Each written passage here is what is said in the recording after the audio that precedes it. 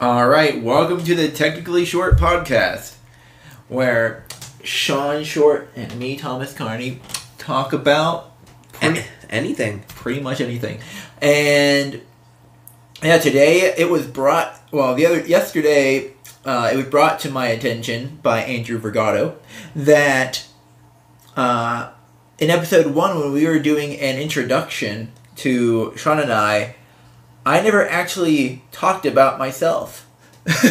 Not at all. So, uh, so yeah, he said he was like, yeah, you just jumped straight in, straight. You were going to talk about yourself, and you jumped straight into Shawn moving in, and so in this episode, we're actually going to do a part one and a part two, where uh, in this uh, this episode, Shawn's going to be asking me some questions, interviewing me about um, whatever he's going to ask me about. I don't really know, and then It's a surprise.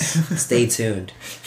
then, uh, that- then next episode we're going to do uh, i'm going to be doing the same thing for him and this week this episode is going to be coming out on today uh, today on tuesday and then the next episode is actually going to come out uh, later on thursday so that uh, you guys can get both of them in the same both of them in the same week and then we'll go back to once a week after that Really good. You're gonna love this. Yeah, if you haven't already, uh, go ahead and subs- go ahead and subscribe on whatever platform you're on. Give us a rating on Spotify or Apple Podcasts, and share it on your social medias. But yeah, Five stars only. you got nothing nice to say, don't say anything at all. but yeah, without further ado, uh, Shawn, what do you got for me? All right. So, question number one, Thomas. Introduction of yourself. That question? Yeah, like give your give yourself a small introduction before I start actually drill, drilling you in this interview. Dun, dun, dun. Okay. um, making sure it's actually recording. Uh, yeah. okay. Um, we have a small introduction about myself. Uh, let's see here.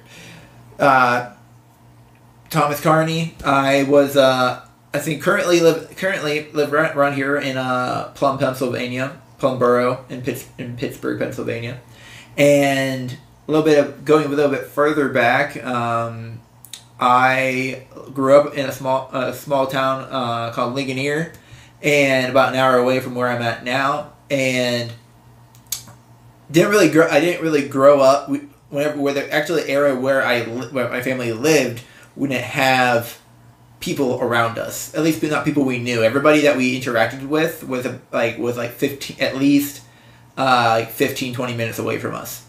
Um, so, and that definitely contributes to.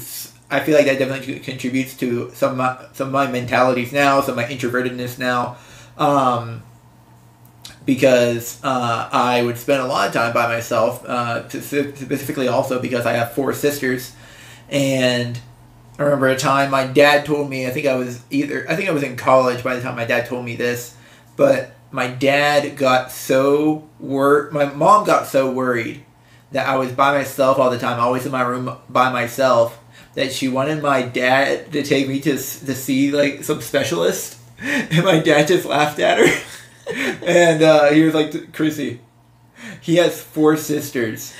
Like, yeah, he's going to be in his room all the time. he's not going to leave.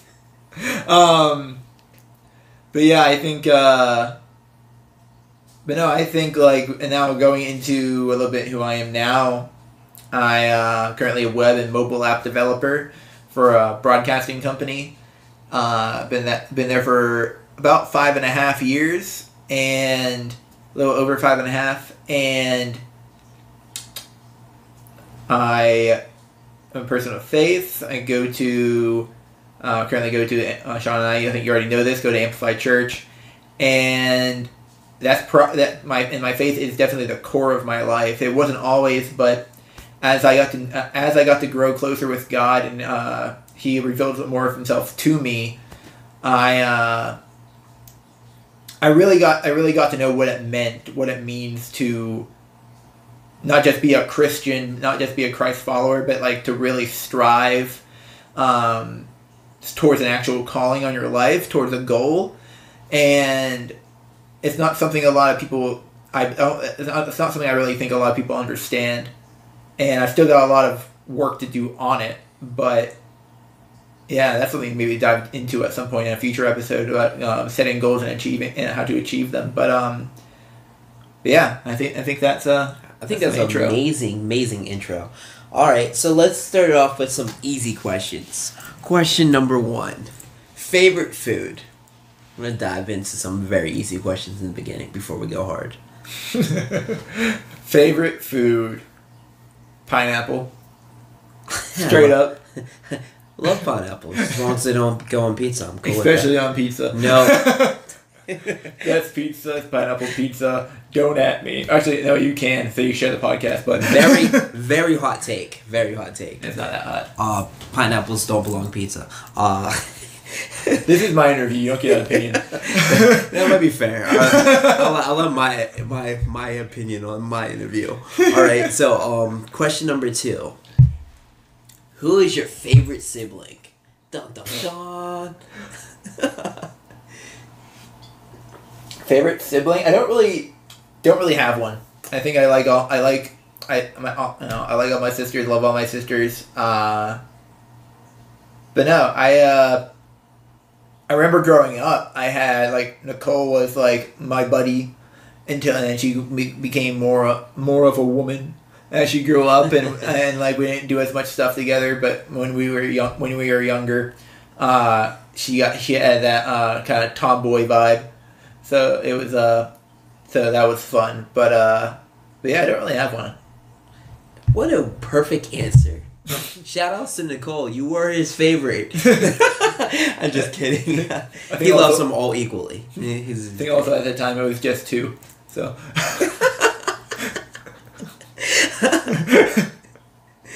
All right. What is your biggest fear? biggest fear. You just you the lists are easy and I just okay. Biggest fear, I'd say like.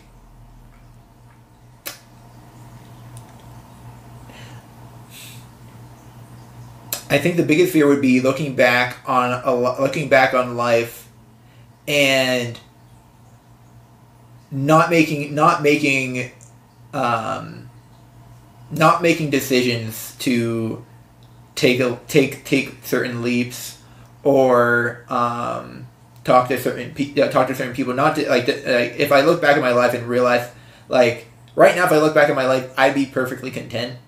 But if there was something like, and there there are things I want to do, and I, I right now I feel like I still have time, but you never really know how much time you have left. Um, so I th- feel like if I was like maybe another ten, like another even like five years down the road, and I look and I was like, okay, I'm about to die. Hope hopefully I don't die in five years, but like, um, God only knows. So like you look back and you're like, oh man, I'm still at the same spot I was five years ago. That's my biggest fear. Is that's not to grow. Hmm, that's good. I feel like that's a really good, really good answer. I can't chime in on this. We'll go to the next question. Um, if you had to travel anywhere in the world, where would it be? I should have. You should have given me these questions first because I, I have the, anywhere in the world. Anywhere in the world. Japan. Actually, yeah, Japan. Top tier Japan. answer. They got they got they got the they got the pizza vending machine. So I'm gonna try it. Literally top tier, top tier answer. What motivates you to work hard? growth same thing uh, motivates me to work hard is well the- first it's it, it's it's growth that's the immediate answer but then the more defined answer behind that is not just growth but what comes with growth. It's like looking you want i want to make sure and there's there's some things unhealthy sides of it that i had to kind of learn through but like if i say i'm going to do something like I have full intentions at that time that, to do it, and there are times when like you can overpromise, uh, which I I do, I, which I've made the mistake of in the past. But like, I, what what motivates me to work hard is the promise of growth, and like that's something I think even with uh, certain things I'm doing now that, and I would say I don't know who's all going to listen to this podcast, but I'll uh, if they fire me, they fire me. My current job, like it's uh, the only gr- there's not much there very there's very little room for growth in the areas that where that I could grow uh, could grow in. I don't like feel called towards growing in that area. Um, in a certain towards in a certain position, which would come with more money and would grow, grow the pay, grow the wallet, but it wouldn't really like grow me in a way that I'm intentionally looking to grow. Um, so like, I, th- I guess I guess the more de- the more defined answer would be growth. Growth motivates me to uh, to work hard is the the prospect of growth the prospect of growth in either per in like personal development, mindfulness, leadership, something that will make me a better person. Yeah. I think that's a great answer. I loved how you phrased that. All right, we're gonna move to the next question. What would change? What would you change about yourself if you could? What would I change about myself? Yeah, I don't like that question. hey, I mean, uh, it's a it's a fair I, question. Be, I don't really think. It, I, I think it's. I to be honest. I don't. I think. Right now, who I am now, I don't feel like I would. I feel like there's, like, I continuously want to grow, but like. I, I I'm not gonna say I wish I was. I, I, anyone can say I wish I was rich or I wish I had this or that, but I don't really feel like that matters too much. No, I don't, I don't think it's asking about that. I for me, I think it's asking more of like if there's a certain flaw you don't like about yourself, what would you change? You like if you could get rid of that flaw. Like for me, I think one of my flaws is procrastination. Like me personally, mm-hmm. so I would like if I could change that, I would take that out of the equation. Other things is doing something stupid, spontaneousness. Sometimes that's one of my hugest flaws. That's what I think it's meaning. I don't think it okay. means like out of your personal like you know you. Yeah. It's more of. At least that's what the question says. um. Sure, we'll go off that then. Um, I think like. One area I'm working, one area I'm working in right now. Then, if if if, if it was possible, it's not. But if it's possible, just to flip a switch and be like, okay, I can be a little bit more, uh, not not be an extrovert, but be more extroverted um, than I am currently. Like that's like a little bit. I'm not looking at I'm not looking to drastically change in that area, but like just to be able just to be able to talk with just to be uh, more comfortable talking with people. Because like I'm growing, but that but we're working on that, so that'll happen anyway. I think you're doing great at that. Honestly, you're you're expanding and you're expanding in something that you're building up to be better and better at. Yeah. And that it'll happen over time that you'll be uh, you'll be successful at that. Uh, we'll move on to the next question. Uh, let's see. What really makes you angry? Makes me angry. okay. Um, I don't know that was. um, uh, what really makes me angry? Um. I'd say like the first thing that popped in my head, and this is more of a something I've realized more recently, and I don't know necessarily where it comes from, and it's not like an anger of like um being angry at somebody. It's like this internal thing I feel about how other people feel about themselves. Um an internal feeling, I guess I should have said, but like um, when I hear people say like they feel like a burden, or they feel like oh this thing is happening in my life, I and everything I have to do now, I feel like a burden a burden on everybody around me. For some for some reason, I don't, and I don't specifically know why, but like when I hear people say that, I get mad not at them, but at that at the specific not not even at the specific mentality, but like I get so like not it's really hard to explain because like it's not I'm not mad at them because it's like because like it's an understandable mindset and it's valid. Um but like you look but you look at a person who's perfectly fine a perfect a perfectly good person but then they feel like they're a burden on other people that is to, to me that's like a um to me that that is like Insecurity. No, it's like a reflection of the people. uh, Almost not even a reflection of the people around them. It, it's like I, I, I can't explain like, like, there because like uh, uh, around almost like the idea of what caused that to be, of like what caused that person to feel like a burden, and like and be like no like I don't see you that way. Like I don't see you as a burden. They don't see you as a burden, and like, like, it's like I uh, and like it's like if somebody's listening and that that's something you hear like he, you feel you you feel sometimes you feel like a burden on somebody else uh, because of something that even especially on something that's outside of your control. Like i'm going to tell you flat out you're not and then that's all the enemy trying to d- dig into your dig into your mind and push you down i think that's what makes me mad whenever the enemy uh, is like knocking people out and it's obvious Right. uh, that like that's that's what makes me mad. Like it's like somebody not living up to their to their potential because living up to their potential or even like having be, being able to be a healthy mind even though it's not an easy thing to do like it like and then we go off and t- I'm going to change this a little bit but like it also kind of leads into seeing somebody struggle in an area that that I uh, that I know they can get themselves out of, and then explain that to them, and then they and, I, and, and or like and other people do it, and like I talk to them, and like whether it's mind, body, uh, mind, body, spirit, whatever it is, like you tell them like this, like you can try this, or that you maybe therapy will work for you. You can do this, and they and like they shut it down. Like, nah, that won't work for me.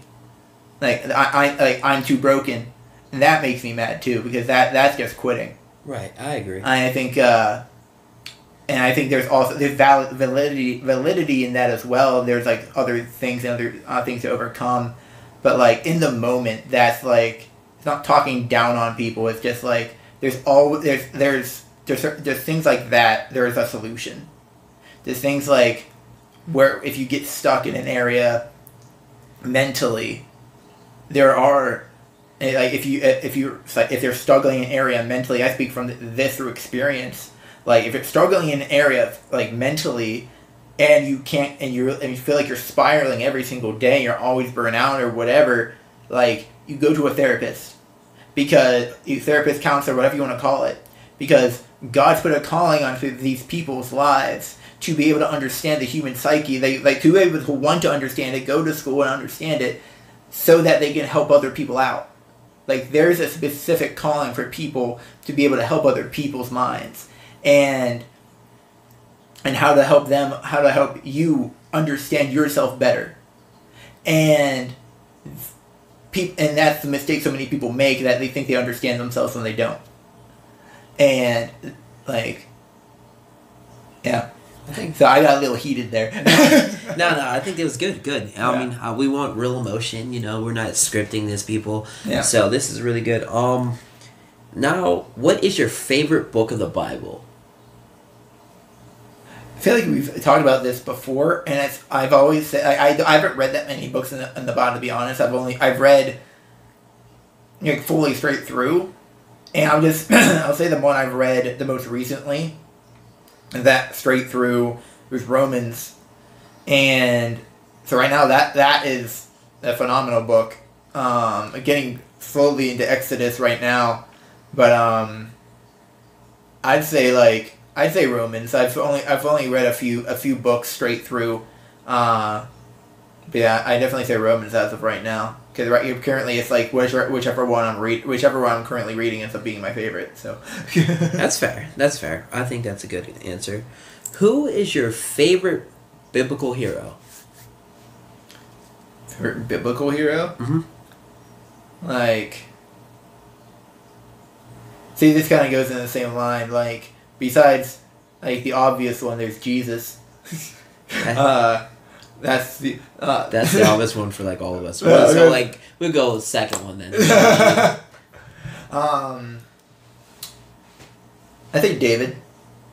I feel like Da- like he, he messed up, uh, he, but then he owns up. He, he he messed like he did he did he did a lot of good. You know, with David and Goliath, but then he, and but then, and like he grows, becomes a king, messes up, and then is actually told. Uh, but then and then it's like I think we read this today. Like he messes up, and listens to what Satan tells him to do, and then owns up to it, and then and then past that, I honestly don't know too much. But like, there's just a, like a lot, a lot I hear. The more I learn about him, the more I'm like, yeah, that's I don't know, it's real. I don't know. Honestly, I think that was a really good answer. Um, let me see. Another good question. Who is your hero in today's society? It could be your dad, it could be your mom, it could be your friend, it could be a pastor, it could be whoever is leading you in the right way. So I'm saying it could be any any choice of society today. Okay. Yeah, I've never, I never put the word hero to this. I mean, I'll, I'll, I'll take that as meaning mentor. Uh, because I've never really, I don't really can, like, see anybody and be like, they're my hero. Uh, not to, like, downplay with people who do have, have, have current heroes. Uh, I just never, I just never put that word uh, into my vocabulary for that kind of stuff. But, like, um, I think, like, there's a few people in my life right now that one I need know I need to talk to more just because of who they are and the things that they've accomplished, but also because like they have mentored me in the past and everything that they've done is uh, phenom. It, it, it everything they've done it ha- like that I've seen is phenomenal. Uh, so I'd say uh, Pastor Ed, Pastor Ed Newell, and uh, Pat Patrick Williams. Like those are the top two that pop in my mind straight away, and they're the two that I want to uh, get to, kn- and they're the two people I try to get to know more and need to reach out to more and talk to more. Um, Ed, I do talk to uh, every now and then. Pat, um, not as often as I should, but like the stuff that like, and like that's and that's two different areas of my life that but that kind of also coincide with uh, it at the core of faith. Um, because uh, Pat with um, Project One Nutrition how successful that's being, and just like listening, hearing the stories whenever we, him and I meet up every now and then, like and hearing like all the things that they're doing and the acquisitions that they're making and like the biggest deals that he's ever made, and like he and he talks about the mindset behind it, and I think that to me that is really cool. And like that's really like and that a lot of that only comes with experience. So like a lot of a lot of like how he's able to accomplish these things, and like and then there's Ed, like who's in the area of uh, area of life of like him and I are very similar similar uh, people in the mindset of um, of technology both both big nerds um, and but him and I can all uh, big nerds but and like he's further like, yeah you know, have a family and kids and I um, just really respect him as like being able to, he'll tell you straight up how it is he won't he won't sugarcoat and like if you're going through something you, you I go if I'm going through something I go to Ed because he will not sugarcoat and he will uh, he won't sugarcoat and he'll give me a biblical reason uh, so, uh, sometimes biblical sometimes just like just ba- some very good not basic but some very good advice that will help me that will help me out when I'm in a bind. Uh, so yeah I think th- yeah, I'd say that uh, they're the two that like older, and then I think that one more, uh, I'd say, just because he's my one of my best friends, and we've had a lot of great conversations, and we might have him on the podcast at some point soon. I'd say Andrew Vergado, just because the wisdom that is in him that I've never seen in somebody who is what is he tw- twenty one Yeah. like when I met him, he's 18, and like he's grown so much since then. But he was already so much more wiser than I will, ever was. Uh, whenever uh, whenever I uh, first met him, so like, so yeah, I'd say those three. I think that was really good. I got time for enough for two more questions. All right, so question number one Worst leadership advice you've got?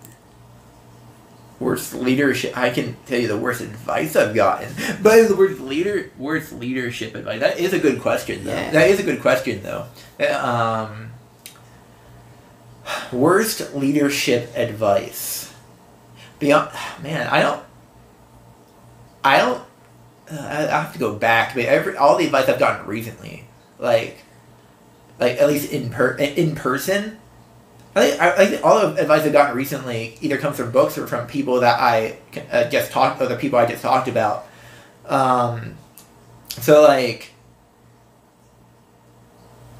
and I can't think back as far as whenever the advice was bad, probably bad. like I used to be uh, when I uh, six summers I was man uh, three summers I was a manager at Ottawa Park in the food stands, and technically a leader, but didn't really understand leadership. So like,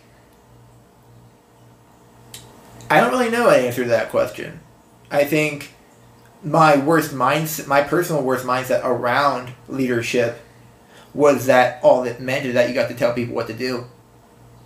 And that was my just my core understanding of like, yeah, I like being in charge because I can tell people to do stuff and they listen and they have to listen to me. And that's not even true. They can they can just leave. so uh, so like uh, so yeah, I don't really have an answer for that question directly. All right. Well, what is the best leadership advice you've gotten? That's really hard because there's a lot of good advice. Uh, okay, that's gonna be straight. I, I I didn't know that's where you were going, but like, it's really hard. like uh. I would have, and that one I would have had to prepare for, to be honest. yeah, there's no prep time here. well, there can be. There probably will be one day. that one. Uh, let me see if I let me. Uh, bet, uh, one at least a, something good. Uh, you know what? The first thing that pops in my mind, I think. Uh, here's a few. Okay, there, I'm, I'm just thinking about like John Maxwell and the things I've learned from him. Um, if you haven't heard of John Maxwell, definitely look up his look him up. Watch. Uh, he has a uh, John Maxwell Leadership uh, podcast. They have an executive podcast too. That's really good to listen to. Um, he has over hundred books on leadership. Um, but like I, the one thing, uh, the two things that popped in my head though were the concepts of more and before, and that a leader sees. A leader, it's a leader's role to see more and before the people that they're leading. That means like you see you see the vision, you see you see more, you see you don't just see what's happening now, you see what's going you see what's potentially going to happen and you see potential problems. You see like um, problems like interpersonally, you see uh, problems anything that can like stop the vision. Mm and you see you see more and you see it before anybody else does. And then you don't necessarily need to be the person to execute to solve the problem but you need to know who those people are that can execute to solve the problem. Oh that's good. Um and and then there's and then there's um I forget the exact term, but it, it was called walk. It essentially says walking through the crowd, walking swift, not walking swiftly, walking slowly. That's what there it is. Walking slowly through the crowd, and what that means, like, and the what I remember him talking about, like, as like he is like he walk he physically when he's down like at a conference or something, he doesn't stand on stage the whole time and wait for people to come to him. He goes to the people. And, or like whenever he uh, he goes and like shakes people's hands, says "Hi, I'm John," what uh, uh, and like just uh, introduces himself to people and like just slowly like shows people that like he's not above them, he's with them, and also uh, is also like walking with like um uh, you go amongst your team, and you and you and you uh, amongst your team or even like amongst your uh, church congregation. And no matter what you if you hold a position or not, you're slowly walking through the crowd, and like just showing people that you're like you're here for them you're not here. You like you're you're here for them. You're here to like it, it, in a specific leadership position. Like you're here not to lead them, but to serve them. And the best way to exemplify that, and there's probably more to the concept I'm not uh, uh, not fully diving into it, but like the uh, like you're showing people like yeah that I'm here to serve. I'm here to serve. I'm not above you. I'm with you. That's good stuff. Yeah. Um. What was the other? Uh, you said one more thing. Uh, when I said I could give you asked for the worst advice, Yeah. leadership advice. Can I give you the worst? Like this is my, just worst advice I've gotten. Like just on a different topic. Yeah, yeah, sure. Cause it popped in my head and I want to uh, bring it up. The so the, I had a um, Tony Robbins uh, uh, results coach, and uh, for six months, and overall it was a really great experience. There is just one thing I, I told you about this already. There is one thing with it that I like. I I feel I, I know goes against the, like my core values of being a Christian um, that he wanted me to do uh, for my business, and it wasn't necessarily to lie, but it was to twist the truth. Yeah, so lie. And well, it's like a conniving wife. it's like you're technically not lying by saying Yeah. by lying. See, this this it's you're telling you're telling like it's like it's saying like hey you like, hey you press the like button you share you share this post you could win a million dollars. But there could be no million dollars lined up. But like you say you could. There's a potential that you, you don't like you'll be no potential if you don't. So like um so like it, that's not what he was saying. But like it was like telling me that I could line up uh, telling people that they could uh, I could put them on a track to make ten thousand dollars a month by using the skills that I, I can teach them, because obviously there's people that do that that, that uh, use those skills that are at the top. Because whatever the skills would they be using? That's kind of like the uh, mindset you try to give me, and I was that made me very uncomfortable. I'm like I think it kind of falls into like just being honest. Yeah. Because like it's and like it's the way I see it, it's tech. It could be technically not lying, or you could be uh, complete, or it could could it be a complete lie, but but not well. It could be only partially a lie because some people use the skills, but some people don't, and like because it's not just it's not the only way, and like I think that I think that advice that I would flip on it would just like you're just being hon- like whenever you're wanting to guide somebody, you're wanting to lead somebody, you don't lead them on with clickbait. You lead you, uh, you, you don't lead them on. You you you like um. Yeah, it goes back to it like. You you don't. Show like you can show them what you can uh, you can show them by, you can't you don't really tell them what you can do for them, but you show them right. and like you don't show people if you want to lead somebody and you want people to follow you like you have to show them that you're worth following. Agreed. and like you can't just and you can't just be like hey i can do this for you. Like you don't know you don't know me from adam but i can i, I like this, this like but i can uh, but these are the words i'm saying. Like it sounds good so like you should follow me.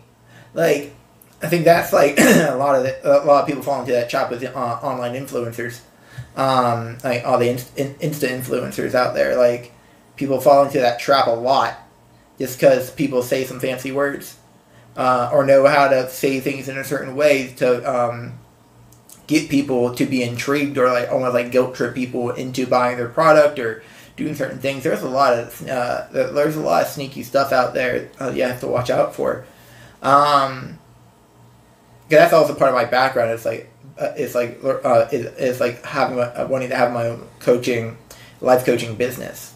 Um, and so I've done a lot of research in the last few years about what business about business, but um, but no, that's I don't know. That's pretty much all. That's all I got on that. That was just something I wanted to bring up because it was it was it, it was definitely on my heart to bring up. But I um, think it's good. I Yeah. mean, it, people should know about the fine print and shouldn't do crooked stuff like that. Being honest is definitely the best way of being a leader. yeah, I, I think uh, yeah. You got anything else for me? Oh, all right. Let's see. you, don't, you don't have to. This could, this could be the end. It's, we, we were already over time. well, um, I didn't, but I do want to end on a positive note. So Let's, I didn't uh, say that wasn't positive. no, no, I meant like uh like our goofy thing at the end where we uh do a or something like that. I didn't mean it like it wasn't Oh. positive. we didn't prepare. we should have had something prepared. But um, no, we want to uh, eventually. Like, every now and then, uh, we'll figure it out. But like, uh, but I think uh, so. There's not a lot of white space. We probably should just head to here. I guess we'll end it here, guys. we'll see you guys next week. Actually, no. We'll see it later this week for part two of this of, of this series, where I'm going to be doing the same thing to Shawn and asking him some asking him some questions. Part So- two. It's gonna be good. So yeah, stay stay tuned, and uh, eventually we'll get some outro music. Let's go.